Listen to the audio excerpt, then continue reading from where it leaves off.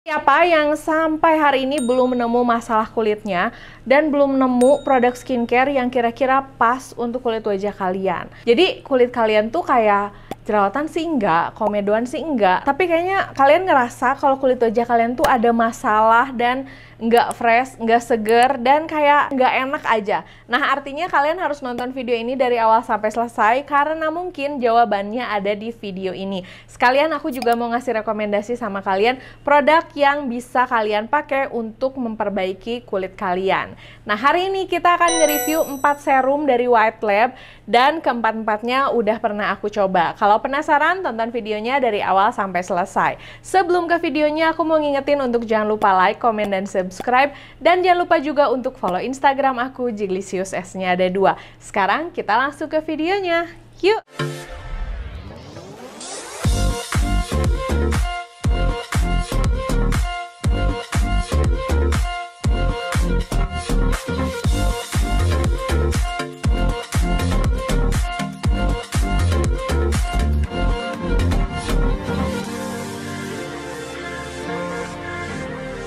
Okay, serum yang mau aku bahas hari ini ada empat. Yang ini tuh ada yang niacinamide 2%, dia tuh ada yang probioticsnya juga. Terus yang ini ada peptide 9 dan juga ada NMF. Aku excited banget pengen nge-review yang NMF sama kalian karena yang paling sering aku pakai di antara empat serum ini adalah serum yang NMF. Dan tambahan juga, serum dengan kandungan NMF dari White Lab ini adalah satu-satunya serum yang mengandung NMF yang ada di Indonesia apa sih NMF itu, apa kelebihannya. Makanya tonton video ini sampai selesai karena nanti aku jelasin dan kalian pasti bakal keracunan dan pengen nyoba. Yang pertama aku punya White Lab Skin Barrier Booster Serum. Ini tuh fokusnya di skin barrier sih kalau untuk produk ini. Nah, tadi aku udah nyebutin kalian nih selama ini punya masalah kulit apa sih? Kayaknya jerawatan enggak, tapi kayaknya ada yang salah nih sama kulit kalian. Mungkin skin barrier kalian rusak atau skin barrier kalian kurang dirawat. Ciri-cirinya apa sih? Biasanya kalau misalnya skin barrier nggak dirawat itu kulitnya jadi kasar, terus ada garis-garis halus, terus kulitnya itu gampang kemerahan, gampang iritasi, dan juga bersisik. Aku tahu banget karena aku pernah merusak skin barrier aku sendiri. Aku pernah pakai uh, masker scrub setiap hari. Masker scrub itu kan harusnya dipakainya cuman kayak seminggu dua kali, seminggu sekali. Nah, tapi waktu aku lagi jerawatan parah, aku tuh pakai masker scrub setiap hari sampai akhirnya kulit aku jadi kering parah, jadi kusam dan juga jadi gampang banget iritasi. Kalau misalnya nih kulit kalian kalau ngaca, aduh kok kelihatannya kusam ya, berjerawat sih enggak, minyakan parah sih enggak, tapi kayaknya tuh nggak enak banget nih kulit dilihat.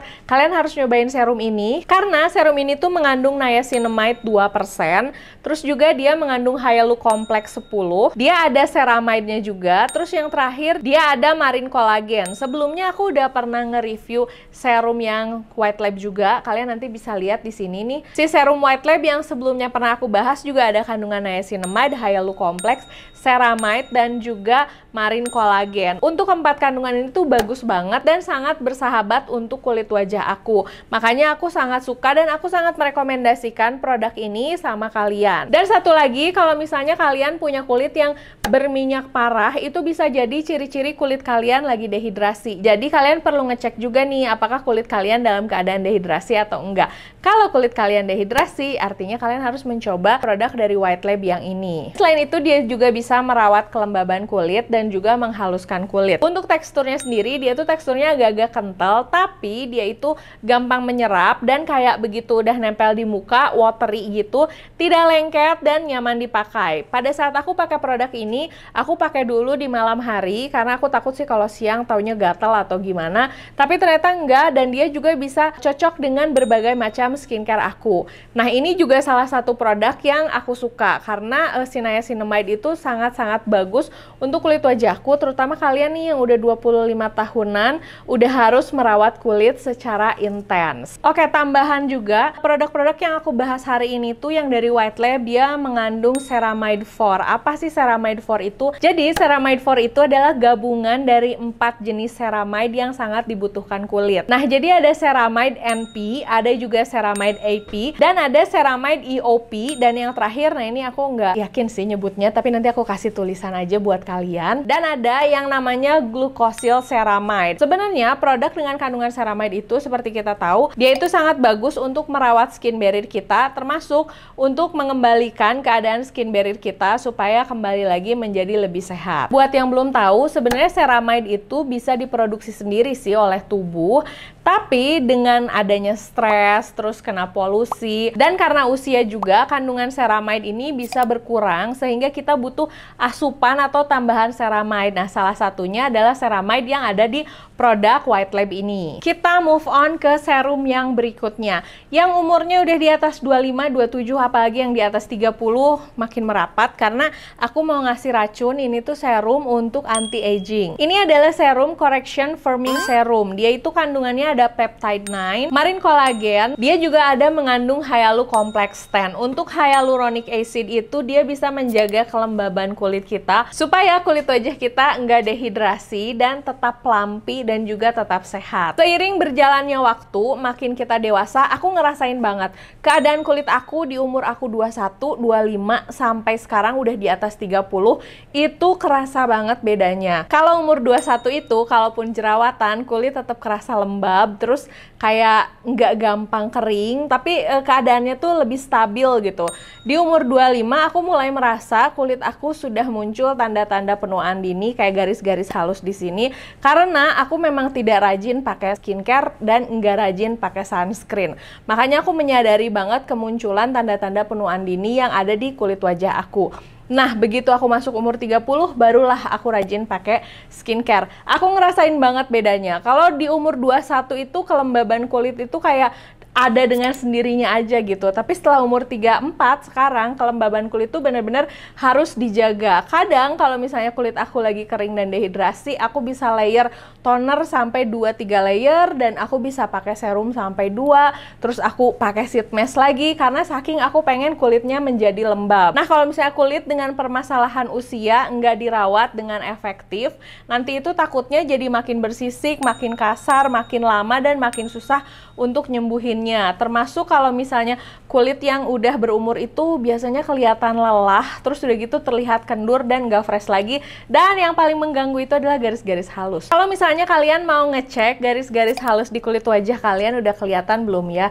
Kalian ngaca zoom in, perhatiin garis-garisnya. Garis-garis halus itu bukan garis-garis yang memang kelihatan, tapi biasanya aku udah sering sih ngomong ini. Garis-garis halusnya itu kayak tisu yang diremek-remek terus dilepasin. Nah, ada garis-garis halus.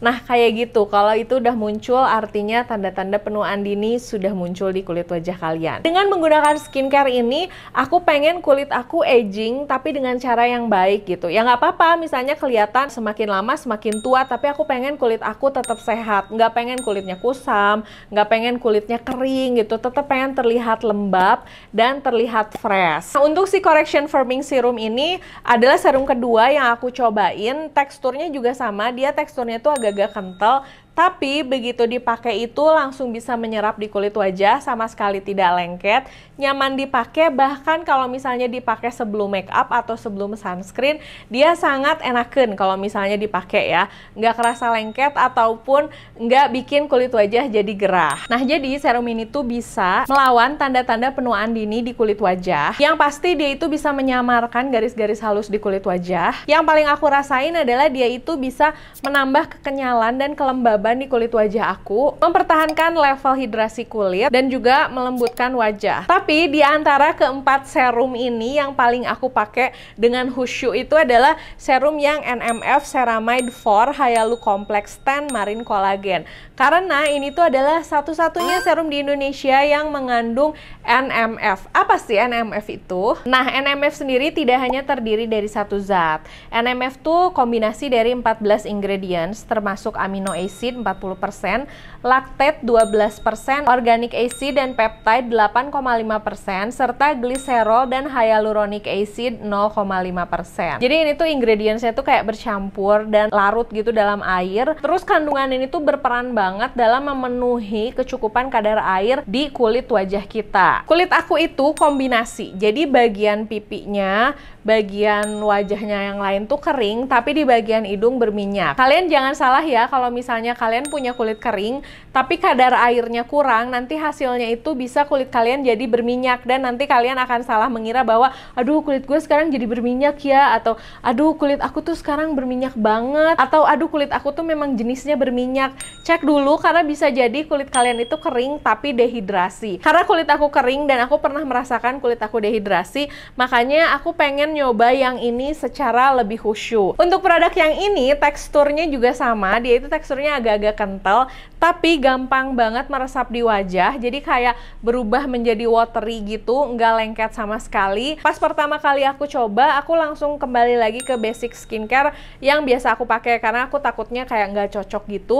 Tapi ternyata di penggunaan pertama kali di wajah aku, dia langsung cocok karena fungsinya melembabkan dan kulit wajah aku tuh memang sangat-sangat butuh untuk dilembabkan. Aku pakai serum ini tuh sehari dua kali, jadi pagi aku pakai, malam juga aku pakai, dan ini tuh bisa kawin dengan semua skincare yang aku pakai.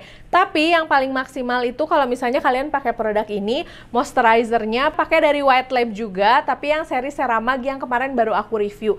Nah itu hasilnya benar-benar menghasilkan kulit wajah kalian yang sangat lembab dan juga terasa lebih plumpy. Ini tuh benar-benar difokuskan buat kalian yang skin barriernya rusak, atau yang punya kulit kusam, atau kulit bersisik, atau kulit yang gampang iritasi. Kalian wajib banget cobain ini karena aku harus banget sih ngeracunin kalian sama si yang NMF ini karena memang aku sesuka itu sama serum White Lab yang NMF. Fungsinya sendiri adalah dia itu untuk meningkatkan level hidrasi dan juga meningkatkan kelembaban kulit, membuat kulit lebih sehat dan juga lebih kenyal, membuat kulit lebih halus, menghindari iritasi, dan juga merawat serta meningkatkan skin barrier kulit wajah kita.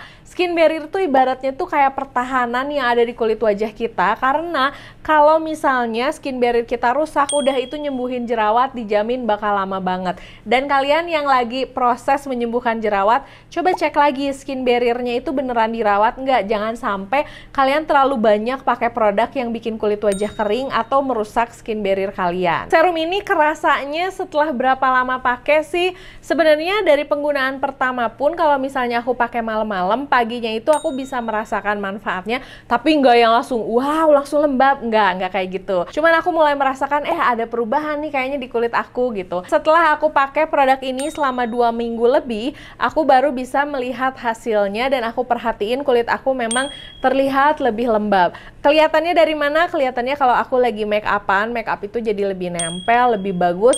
Dan yang aku sadarin kalau aku jerawatan penyembuhannya itu lebih cepat. Jadi kalau skin barrier aku lagi oke, okay, keadaan kulit aku kelembabannya pas semenjak aku pakai produk ini. Kalau aku misalnya lagi jerawatan, itu penyembuhannya cepat. Terus udah gitu, kalaupun dia meradang, meradangnya nggak terlalu lama. Nggak ada yang jerawat sampai bernanah gitu, dan yang jerawat sampai sakit gitu nggak ada. Jadi itu kelihatan juga saat aku lagi mengatasi jerawat. Oke, nah ini serum yang keempat. Ini tuh serum yang judulnya Probiome Complex Serum. Kandungannya sendiri dia ada probiotics, prebiotics, Hyalu Complex 10, dan juga marin kolagen. Nah, ini ada yang beda nih, ada mengandung probiotics dan juga prebiotics. Apa sih itu? Nah, untuk probioticsnya sendiri, White Lab itu menggunakan Lactobacillus ferment filtrate dan juga Galactomyces ferment filtrate. Fungsinya itu untuk menciptakan keseimbangan alami kulit supaya kulit terasa lembab, halus, dan juga kenyal. Sedangkan untuk Galactomyces Lactomyces ferment filtrate-nya sendiri, dia itu berfungsi untuk menciptakan keseimbangan alami kulit wajah sekaligus dan memberikan nutrisi esensial seperti vitamin B1, B3, nikotisik, acid, dan asam folat. Selain itu, dia juga bisa melembabkan dan mengunci level hidrasi kulit wajah, mencerahkan wajah, dan merawat kekenyalan dan kehalusan kulit wajah.